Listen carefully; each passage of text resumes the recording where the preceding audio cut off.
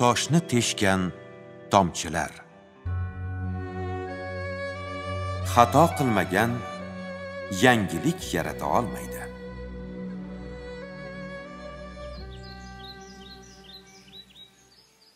Biror ishni maqsad qilar ekansiz sizni maqtovchilar qatorida tanqidchingiz ham bo'lmasa bilingki siz omadsiz insonsiz. Maqtov bevafo do'stdir. U sizni cho'qqiga olib chiqib omonat bir o'ringa joylab tushadi. Sal harakat bilan u joydan pastga qulashingiz mumkin.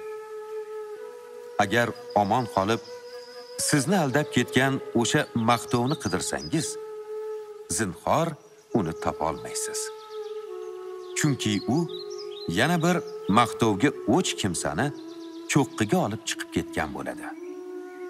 Lekin tanqid unday emas. Uning sizga qaratilgan har bir tanqidi yelkangizda bittadan qanot paydo qiladi. Tanqid qancha ko'p bo'lsa qanot ham shunchaga oshadi. Qanot qancha ko'p bo'lsa parvoz shuncha yuqori bo'ladi. Hayotimizdagi eng to'g'ri va eng ishonchli tanqid bizning xatolarimizdir. Xato qilyapmizmi? Demak biz yo'lda davom etyapmiz. Turib qolmayapmiz. Xato biz o'tmoqchi bo'lgan ko'prikning chirigan yog'ochlaridir. Toyilmaguncha ko'prik yaroqsiz ekanini bilmaysiz. Demak uzrlisiz. Ammo ketma ket toyilish ham aqldan emas. Nazaringiz qadamda bo'lishi shart. Maqsadga yetishimiz uchun hayotimiz davomida sodir qiladigan xatolarimizning o'rni juda kattadir. Ta'kidlash joiz. Xatoni ketma ket sodir qilish yaxshilik emas.